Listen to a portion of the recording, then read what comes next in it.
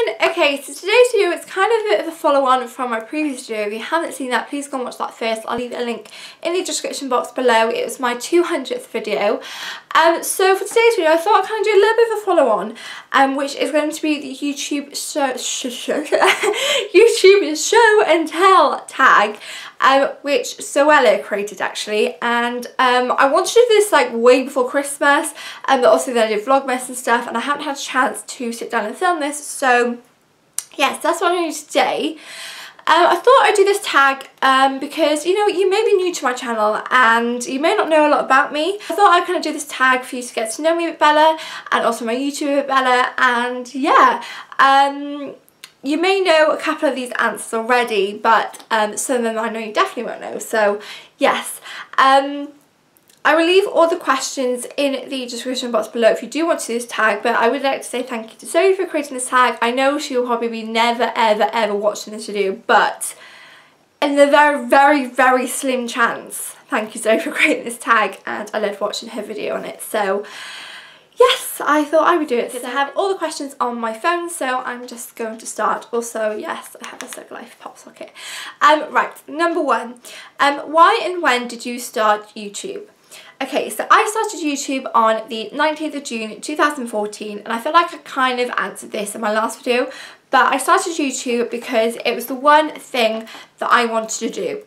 For, for literally years and years and years and years prior to um, me actually starting my channel I wanted to create this YouTube channel. Um, little secret actually, I, I used to make videos before I had my channel like honestly the amount of videos I must have made, I used to vlog, um, kind of I suppose practice but I just love doing it and I knew I couldn't have a YouTube channel at that point so I used to just save them on my laptop and yeah I probably still have quite a lot of them um, I used to film on, I had a little um, pink netbook and I used to film on the webcam on that and honestly the amount of videos I used to make like I used to make so many so yes I kind of wish I'd started my YouTube channel a long time before I did because I like the time at the time I wanted to start my YouTube channel YouTube wasn't really a thing so I kind of felt a bit weird doing it if you know what I mean um, but yes, I started my YouTube channel because I really wanted to do it. It's the one thing I'd already started my blog the year before my YouTube channel. Um, so yes, um, I knew YouTube was always the one thing that I wanted to do. And yes, um, I just wanted to share contact with everyone and you know just kind of express myself through YouTube I suppose and um, also gain a lot more confidence as well that was the one thing I wanted to get out of it too. What was the reason you started your channel and how does that compare to why you make videos today? Okay, when I first started my YouTube, I feel like I was a very, very shy 15 year old girl. And um, I suppose I made videos then. I kind of like, first of all, I probably started out just to see what it was like, to see how the response was from, from people. Um, you know, if this was definitely something I wanted to do. And now compared to today, like I suppose I actually make content that I really, really love and that I want to do and I'm much more confident now. So like I will kind of make any type of video really. Um, but when I first started I was kind of just seeing what was like. Um, but now I know that I really, really love it. That I feel like I'm a lot more comfortable in front of a camera too. Okay, number three, what was the first video ever uploaded to show us a clip? Okay, so the first video I ever uploaded was a what's in my bag. Um, I made that video because I just thought it was a kind of a good video to start off with.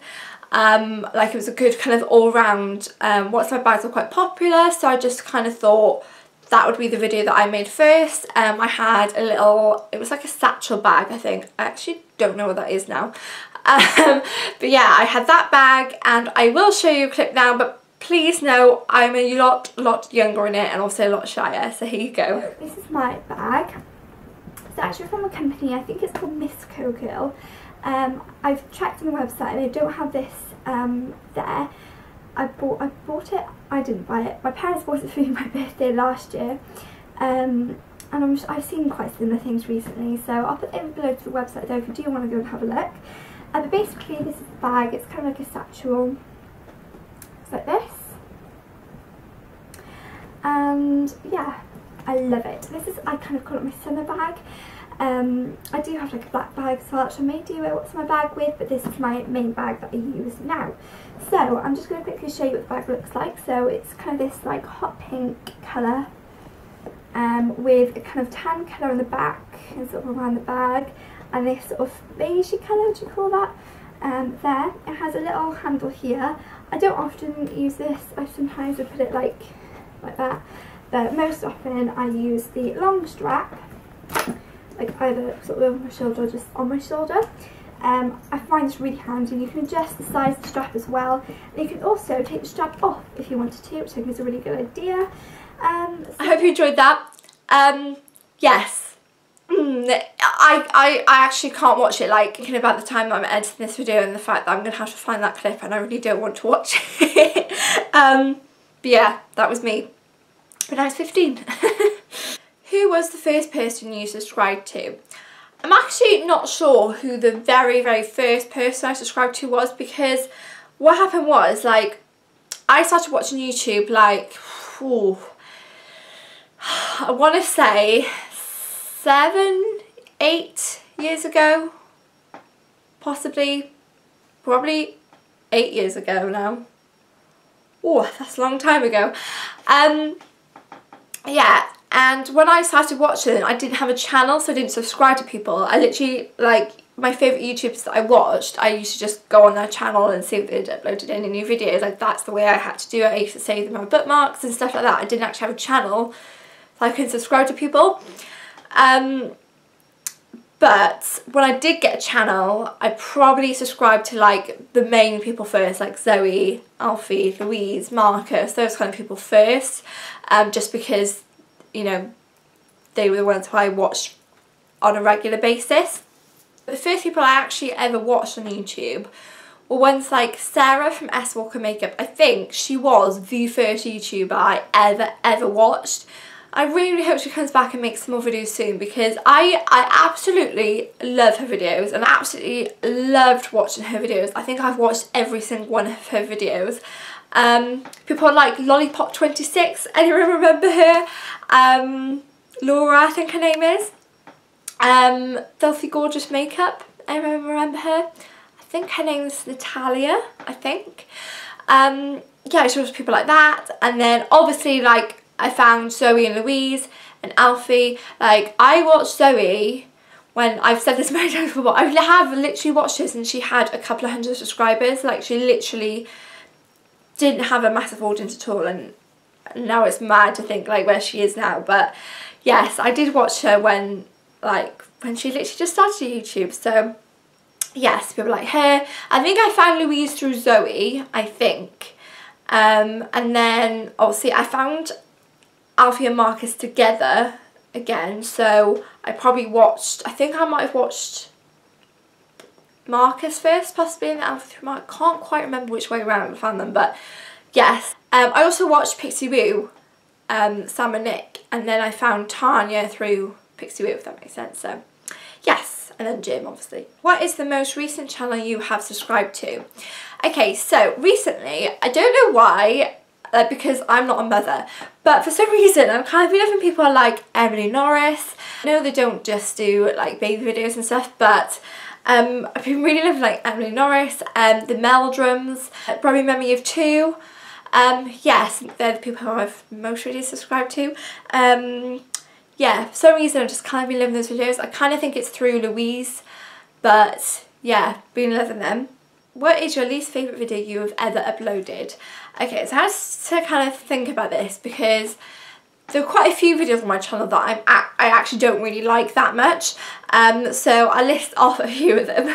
okay I made a video uh, probably over now two years ago um, which is a primer comparison and I remember filming that video and editing it and I just really did not like it. I don't know what it was about it, I just did not like that video and I still uploaded it anyway but like I'd probably redo that video. Sometimes I have actually refilmed, not many times at all, but I have, I think, once or twice refilmed a video because I just didn't like it.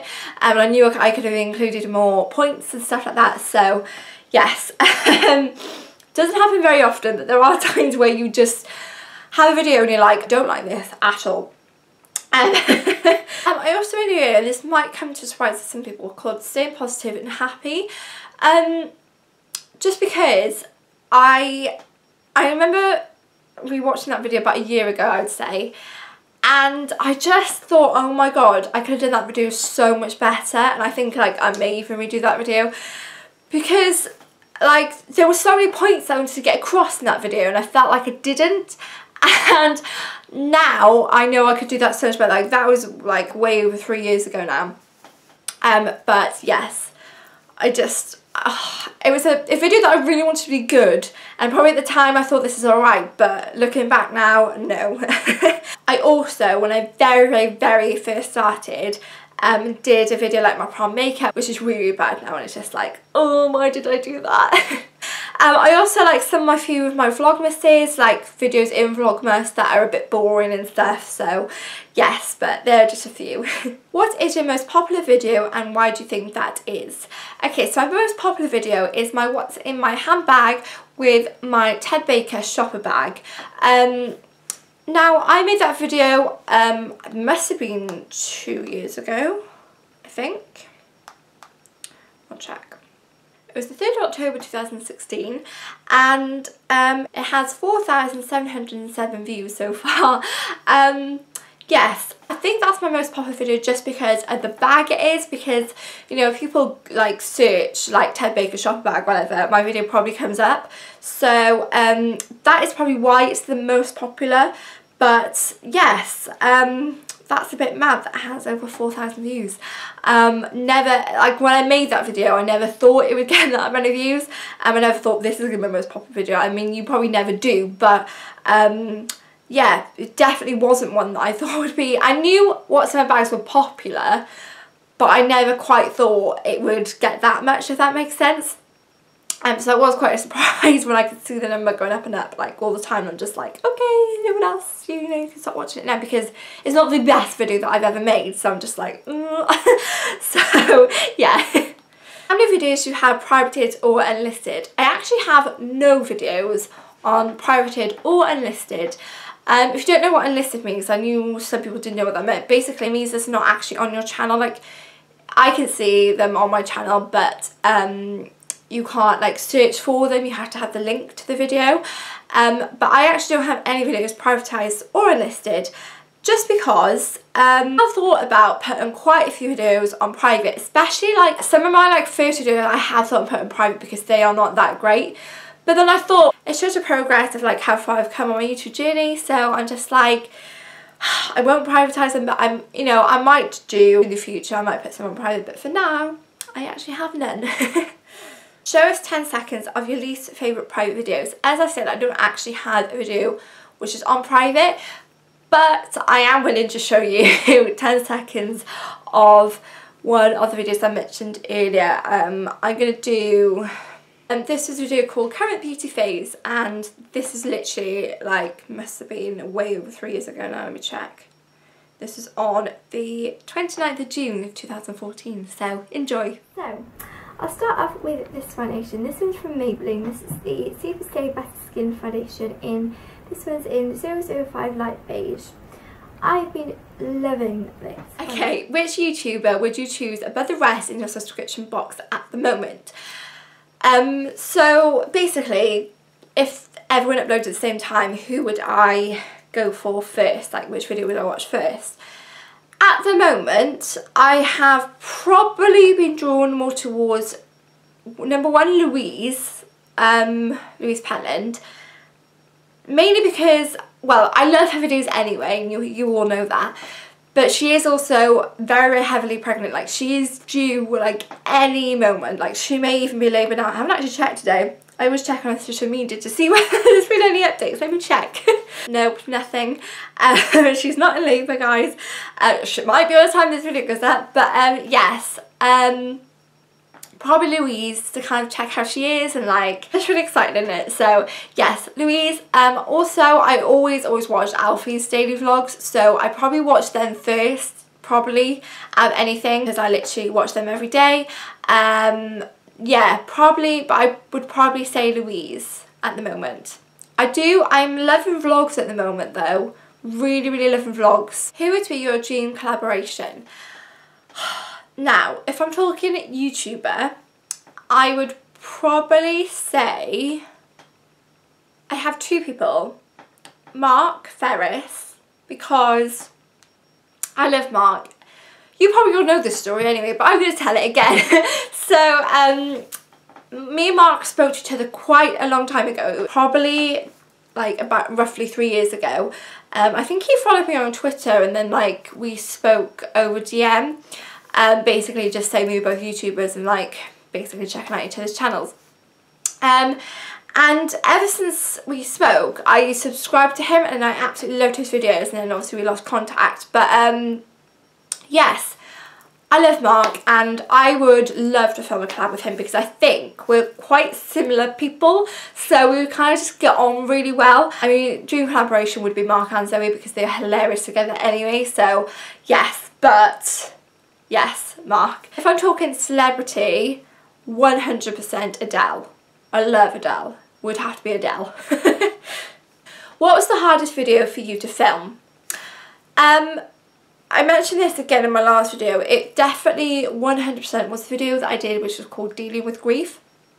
Because it was something that I I don't find it necessarily hard to talk about but it is a hard topic to talk about I suppose in general. Like you know um, it's something that I've had to deal with myself.